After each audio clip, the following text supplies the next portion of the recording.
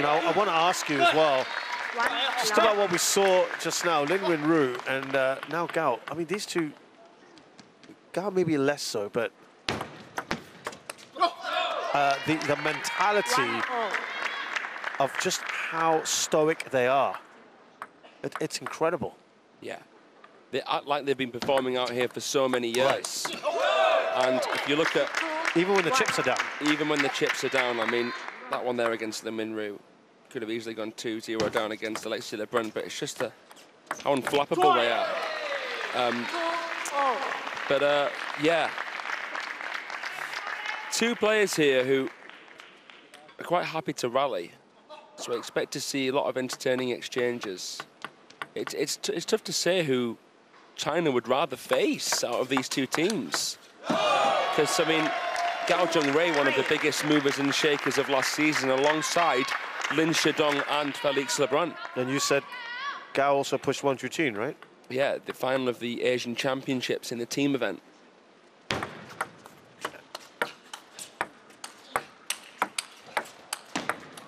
Now, Gauzy is one of the most miraculous talents ever. Right. In terms of his feeling, how many shots he actually has in his portfolio. I'm interested to see how Gao Zhengwei can tame that talent. A former top 10 player, Simon Gauzy. Very, very talented. He's got plenty of flair about him, hasn't he? Oh, he embodies French flair. Amazing away from the table, amazing improvisation. I also want to ask you, just because you were commentating on the other men's semi-final, China have looked about as vulnerable as you can remember the men's team today against Korea. Does that just give everyone else a little boost? That little bit more of a push today. We need to get into that finals to face China. Or are China just going to come roaring back? You've got to just treat each match at a time. They will have thought about it briefly when they saw China go 2-1 down, mm. but here they are. Got to fight for this final.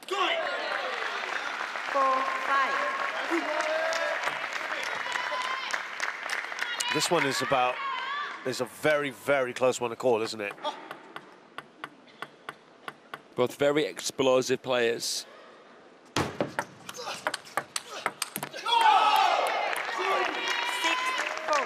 Gauzy in front by two.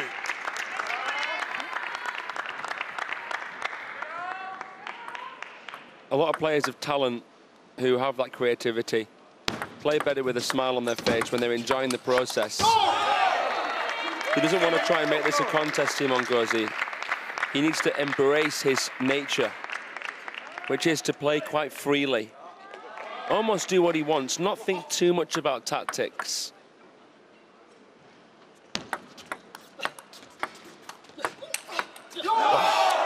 Playing some great shots, isn't he, Gauzy? The fanning backhand there, look at this feeling. Into the middle, and then what a counter. Now just have a look at the momentum here. Well in favour of Gauzy.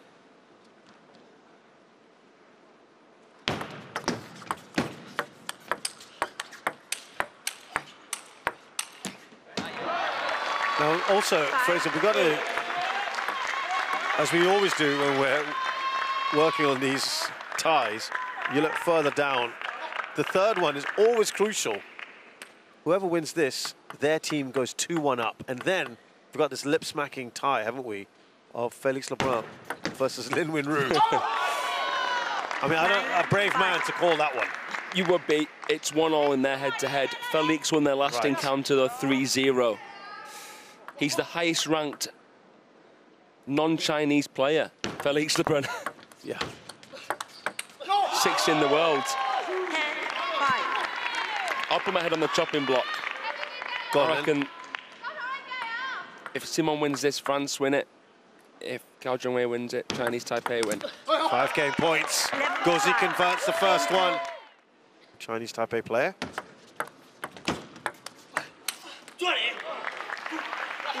one.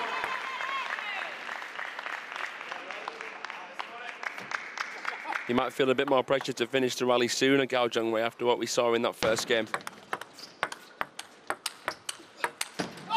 Simon can rally all day. I mean, training in Ochsenhausen with Ugo Calderano. We've seen some of the crazy stuff they do in training and so consistent.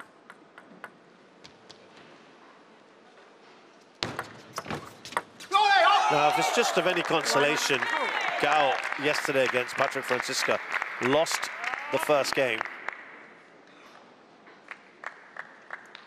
And then the second one was, he won 16-14. So he was on the brink of losing 2-0. And then the next two games were 11-9, 11-9. It was a really tight one against Franziska. So he's been there, done it before, Gao. He'll be telling himself, you can do it, you can still do it.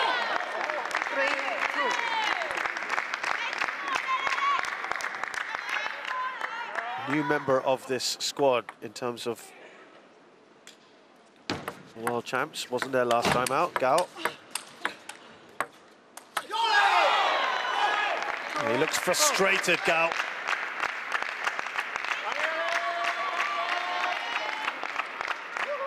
That's the thing about Gauzy. He wins so many rallies by scrambling. And that's what frustrates the players it is up against. It, it looks like he purposely lulls them into a false sense of security, Gauzy, but I don't think that's the case.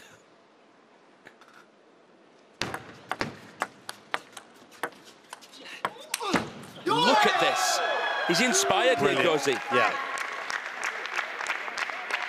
He's playing some great stuff here. tomahawk chop block, and then he wraps right around that ball. You have to play so many different shots. You have to be so relaxed against Gauzy because of all the different spin variations you're getting. Look at that. Again. Uh, he's playing. You asked that he play with freedom, and that's happening right now. He's being allowed to express himself. Look at that. Absolute domination. He's won 12 of the last 16. The only predictable thing is unpredictability.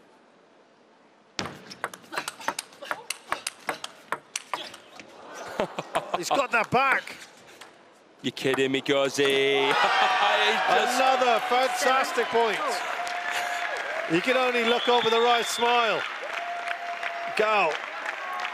That is a chop that Joo Sae-hyuk would have been proud of. He's absolutely butchered it, Gauzy. Yep. Sometimes you just got to sit back and admire.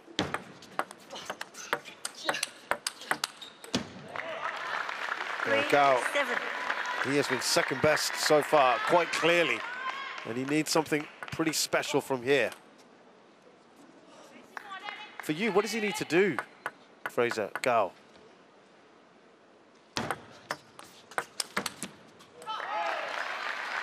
I think he has to try and be as direct and deep as possible. Because only when it's kind of slow and when Gauzy's got time will he then try and use his feeling. Let not particularly. He's trying it actually here now. He's trying to serve with more topspin and then go driven straight away. So you're saying more pace? Yeah, earlier on. Don't try and construct the rally against Gauzy.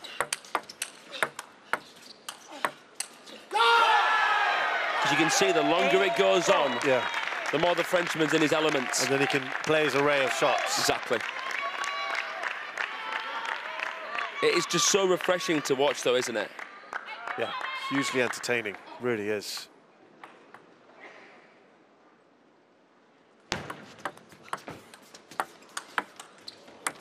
That was a lovely counter, wasn't it? Eight. Nicely done back out. And this is a young man here who had a fantastic WTT contender Lima. First WTT singles final of his career, and he beat Aruna and the European champion Dang Qiu. That's how good he is. But Gauzy here, someone who has had a bit of a big pill to swallow in the last 12 months, is doing very well. Yeah, I think he was probably quite confident of uh, securing an Olympic spot not too long ago. And uh, that looks all but gone now in the singles, uh, anyway. Five game points here for Gauzy.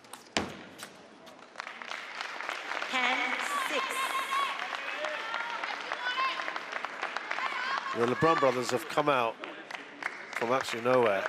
I mean, you expect Felix to be there, but as to the number two... there for France. Sorry. In terms of the number two, it's, it's a bit more up for grabs. Yeah. You don't think it's necessarily given that Alexi will get it? I mean, long term, right, it'd really probably affects Alexei if he wasn't playing in Paris. But end of the day, you can't be sentimental. Yeah. Two game points saved so far by Gao. Remember, we saw this earlier from Lin Yun-Ju. They've had Poland and Portugal.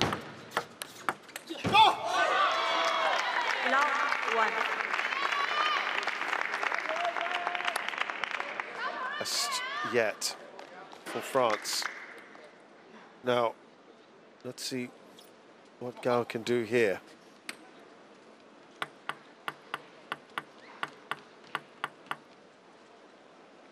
He's got to recall what he did against Patrick Franziska yesterday.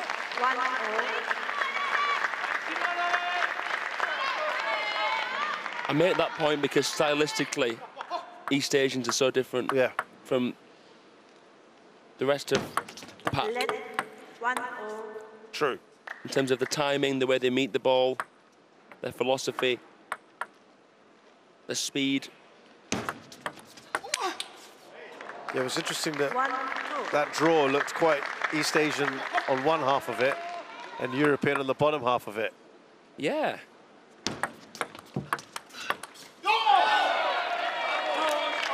Singapore and uh, Chinese Taipei and a run. the only ones.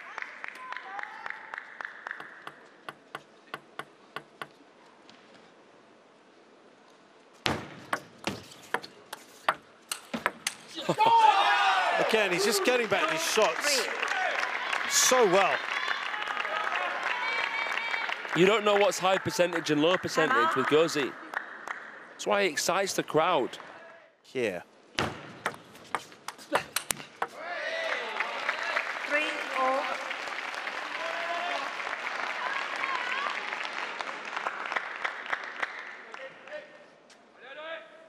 Now Gao looking for the timeout. And he's hoping to turn things around here. Finding backhand again, it's just coated with backspin.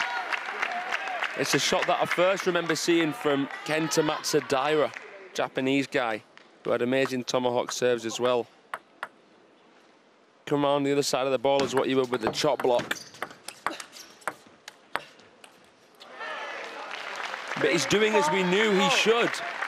Not think too hard about the tactics. Right. And just play his stuff, Gauzy.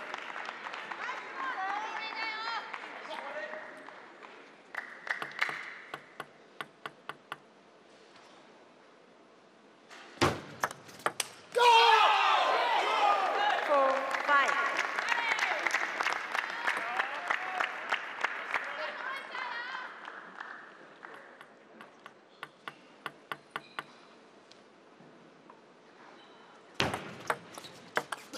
Nice little shimmy. Good pressure from Gao Chong-Rei.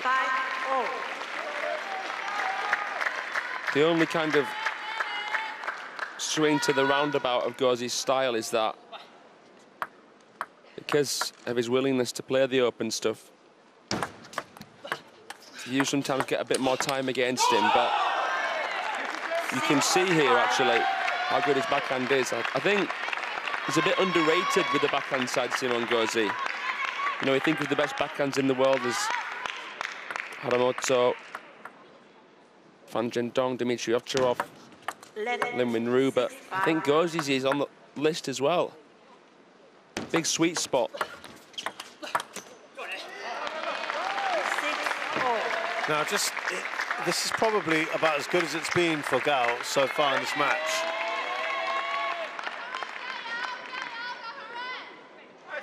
Needs to win this to keep this match alive.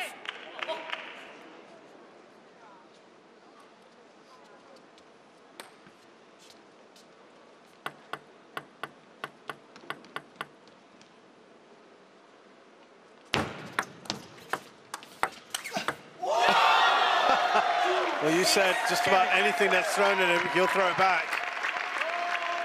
That didn't look possible from where he took that. Oh. Feng Yi-Hsin looking towards the other members of Team Chinese Taipei So to say, what on earth?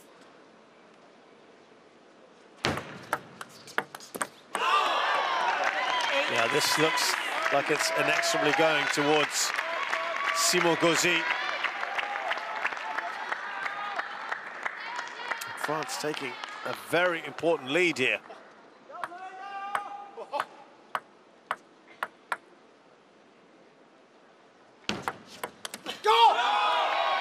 Nine, six.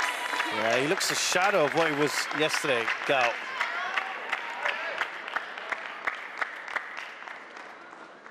I mean, he was good against Portugal, Gauzy, but this is the best I've seen him play in ages. Oh, yeah, what a time to be bringing out a performance like this.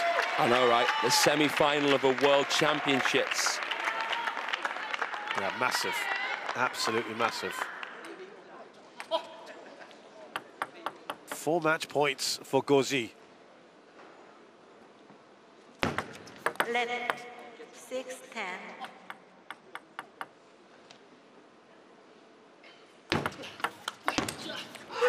That is a hugely clinical performance.